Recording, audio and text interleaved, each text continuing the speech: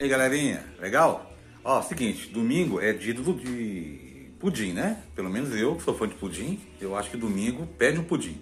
Então tô passando aqui para dar uma dica rapidinha para vocês aqui, tá? De como fazer um pudim com 5 minutos.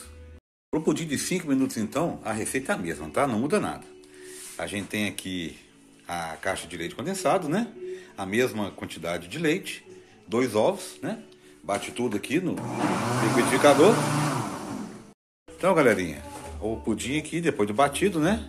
A receitinha básica do pudim. O que vai mudar mesmo é a forma de fazer o pudim. Né? Em vez de levar ali no banho-maria, uma hora e meia, uma hora e quarenta de forno, a gente faz diferente.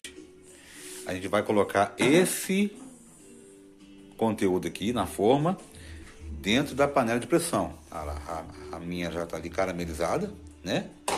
E eu vou colocar aqui agora para vocês verem como é que é. Não tem dúvida nenhuma eu vou colocar aqui o pudim ali dentro. A receitinha básica que já está feita, já está pronta.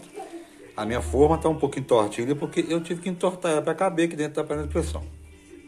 Quem já tem as panelas de pressão com a tampa externa, fica melhor ainda. Então aqui, ó, já está ali. Já tenho dentro da panela de pressão dois dedinhos de água, é o suficiente. Agora eu vou tampar, fechar, esperar cinco minutinhos e o pudim está pronto. Ah, gente, eu não expliquei que é cinco minutinhos depois que pegar pressão, tá?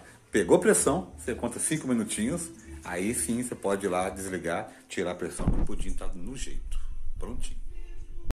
Aí, moçada, abemos pudim.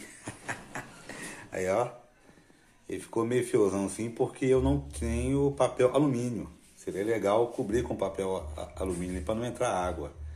Mas depois que eu desenformar eu vou mostrar para vocês, tá? Já tá frio, né? Dá para ver que já tá soltinho, Então vou desenformar aqui agora. Tem, ó, o pudim de 5 minutos, né? Ficou um pouquinho de calda agarrada ali, vou dar uma esquentadinha para soltar essa calda agora, jogar em cima dele. Mas tá aí, ó, o pudimzinho feito na panela de pressão.